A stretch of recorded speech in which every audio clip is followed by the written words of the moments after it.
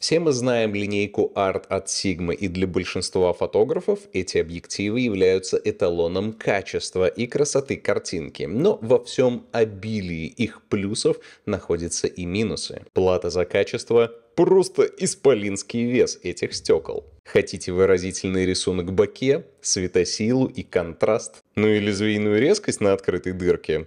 Придется надорвать спину. И так я делал на протяжении 10 лет. Сигмобоем я стал, если что, еще в далеком 2014 году, когда в мои руки попала самая первая на тот момент Sigma 35 мм f1.4 Art. Кстати, вот она. А вот фотки на нее.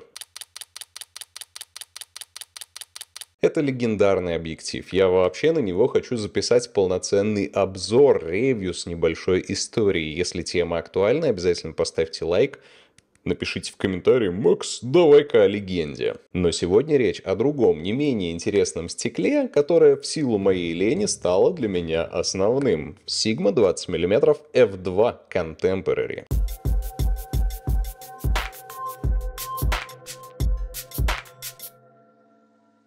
Давайте распакуем. Тут у нас классический набор без изысков. Внутри бумажечки с тем, что мы обычно не читаем. Интересно, а есть вообще такие, кто это читает? В комплекте металлическая крышечка, о ней я расскажу чуть позже, и металлическая бленда. Оптическая схема 11 групп и 13 элементов. Один FLD, один SLD и 3 сферических элемента.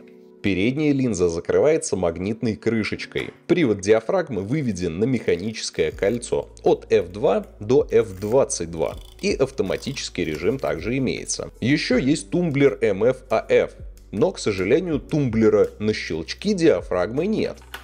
Вес объектива всего 370 грамм. В пример аналогичный старый Sigma 20 мм f1.4 Art под Sony E весит под килограмм, целых 950 грамм, а новый под беззеркалки 630.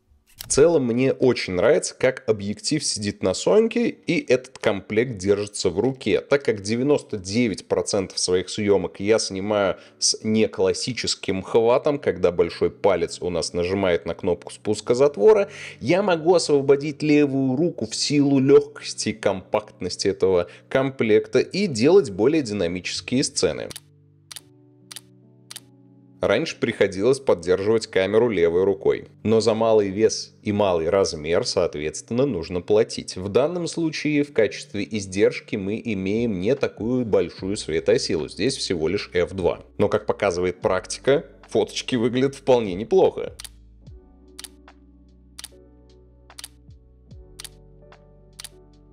Ясно понятно, что все зависит от рук фотографа, и хороший фотограф может сделать нормальный кадр даже на картошку.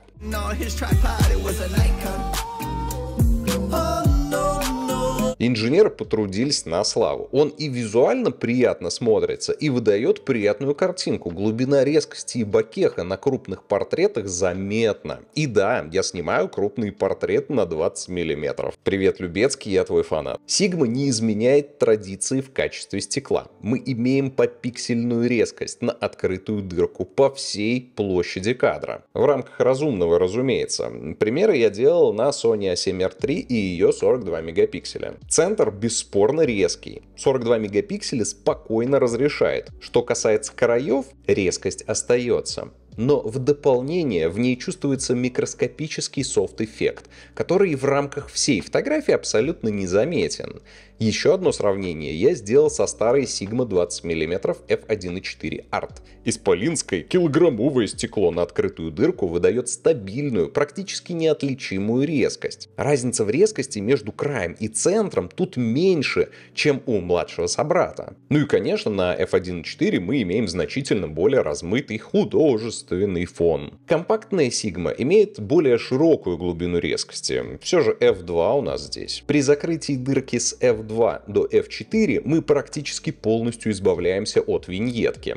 Далее, закрывая диафрагму до F22, мы будем уменьшать только гриб, ну и проявлять пыль на матрице, разумеется, которая начинает бросаться в глаза со значения F8. Стоит предупредить, что у этого объектива очень сильная дисторсия. Поначалу она привела меня в ужас. И я сразу вспомнил свой первый опыт с фишай линзами. И эта дисторсия есть не что иное, как техническая издержка в силу компактности оптической схемы и крошечного рабочего отрезка для достижения нулевой дисторсии пришлось бы докидывать большее количество линз больших размеров, разумеется. И в результате мы вышли бы за рамки компактности. У нас уже есть 20 мм f1.4, нам нужно делать что-то отличное. Поэтому миримся с дикой дисторсией, которая присутствует, кстати, на многих современных стеклах, которые создавались именно под короче рабочие отрезки. Просто держите в голове, если вы оперируете широкими фокусными расстояниями, компактными объективами на короткие рабочие отрезки,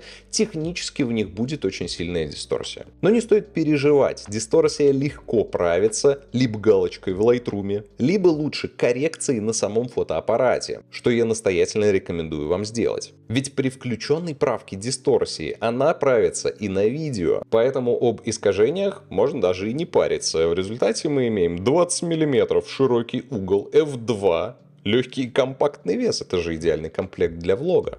20 миллиметров F2 позволяет вам не только фокусироваться на объекте съемки, но еще брать фокус ребят сзади. Они тоже остаются в глубине резкости, немножечко размываются, но все же окей. Э, сейчас съемка ведется с рук, у меня камера немножечко дрожит, но с помощью стабилизатора Catalyst Browse можно сделать картинку супер стабилизированной, и тряска уйдет. Конечно, немножечко сузится угол обзора, но я думаю, Саланж будет не против.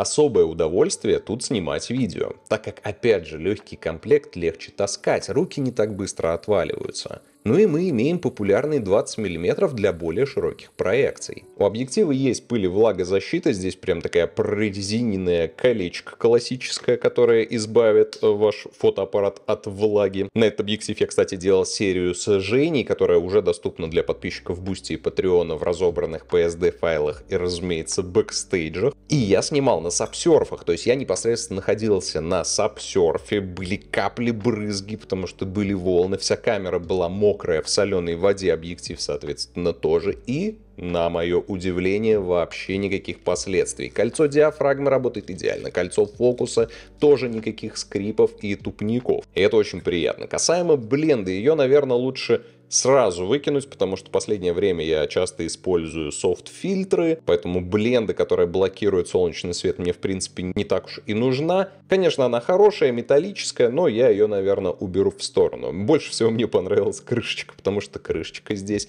с бархатной внутренностью, и она крепится к объективу на магнитик. Это, наверное, лучшее, что есть в этом объективе. Шутка. Кстати, на это стекло я попробовал прицепить софт-фильтр, и вот такие фотографии у меня получились. 20 мм объектив уникальный. На самом деле у меня был выбор, какой объектив забрать у Sigma, либо 20, либо 35, либо 65 мм f2.0, и я остановился именно на 20 и не прогадал. Сейчас я его использую в большинстве своих съемок, потому что он легкий, компактный, резкий, быстрый. Для моих фотосессий такое фокусное расстояние очень важно. Ну и теперь на него я снимаю YouTube. Камера стоит на столе на расстоянии вытянутой руки. И с автофокусом я не трачу время на долгую настройку. Потому что ранее я снимал, вот сейчас я снимаю на Нисе 15 мм f4. Во-первых, это f4, более темный объектив. Но и мне приходится постоянно поднастраивать его в плане фокуса. Я не могу вытащить на прямую руку объектив, он не перефокусируется, потому что он ручной. А в случае Sigma все будет работать супер быстро. Предыдущий ролик я снимал на Sigma, и все последующие теперь это будет, наверное, мой основной YouTube объектив. Ну и как всегда, равы с этого стекла ты найдешь у меня в телеграм-канале. Если тебе понравилось это видео, обязательно поставь лайк, подпишись на канал, мне будет очень приятно, и до новых встреч, пока.